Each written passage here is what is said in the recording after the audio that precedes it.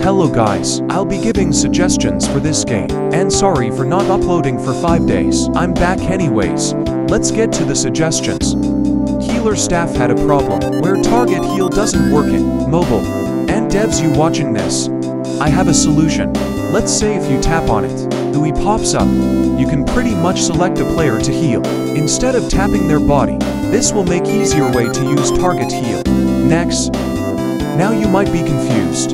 Why we are at drop weapons? Simple. What if we could know how rare it is? For example like this.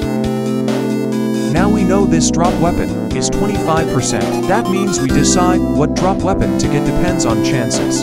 Could probably help. Next, in lazy to explain, there should be toggle sounds, color UI. If you enjoy this video, like and subscribe.